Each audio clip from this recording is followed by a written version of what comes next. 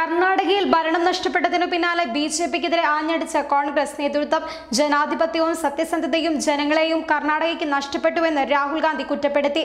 കർണാടകയിലെ Congress J D S സഖ്യം B J പിക്ക് തുടക്കം മുതൽ തന്നെ ഭീഷണിയായിരുന്നുവെന്നും രാഹുൽ ഗാന്ധി വ്യക്തമാക്കി.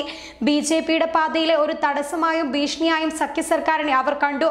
അവരുടെ അത്യാഗ്രഹം വിജയിച്ചിരിക്കുന്നുവെന്നും രാഹുൽ ഗാന്ധി ട്വീറ്റ് ചെയ്തു.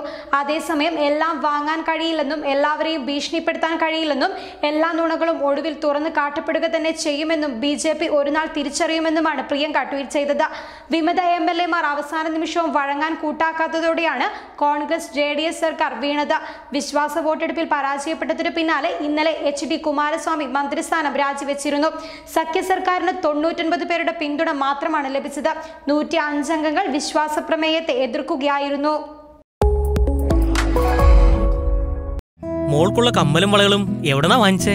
എന്റെ കുഞ്ഞ് ആദ്യമായിട്ടാണ് ഇന്ന് സ്വർണ അല്ലേ? അത് കൊയിലാട്ടെന്ന്. സംശുദ്ധമായ സ്വർണം ശരിയായ മാർഗത്തിലൂടെ Koyilat gold and diamonds P C junction Mukkam.